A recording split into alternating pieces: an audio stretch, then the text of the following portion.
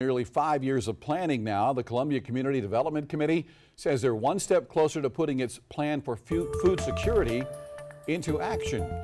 Well, News 19's Zoe Henry has a closer look at the committee's possible solution and how some new wheels will bring food right into your community. Imagine having to choose between gas and groceries. I have to go to the shop three times a week. the groceries so high now, so we got to pick and choose. We can only buy like enough for two meals every three days or four days. We have to take that as a call. Because you have to travel nearly 10 miles to get to the nearest grocery store. And it takes me approximately 15 to 20 minutes to get from my home to the nearest grocery store. Unfortunately, for many people in the Midlands, this is a reality. We have to go so far to get groceries and stuff like that. Be you know real convenience for us to just come down the street. According to City Councilwoman Tina Herbert, this issue could have a solution soon?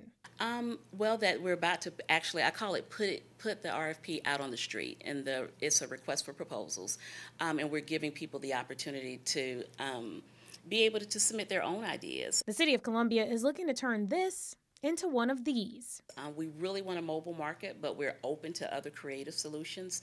Um, but this process, like you said, has taken a while. It's, it's been a vision for several years, um, and we're just really excited that we had the ARPA funding to actually fund it.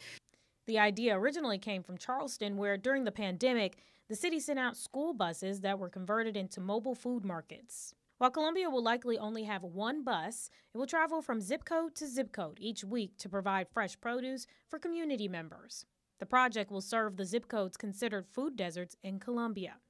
In Columbia, Zoe Henry, News 19, WLTX. City Council is looking to accept community input as soon as the next community development meeting, and that is on February 7th.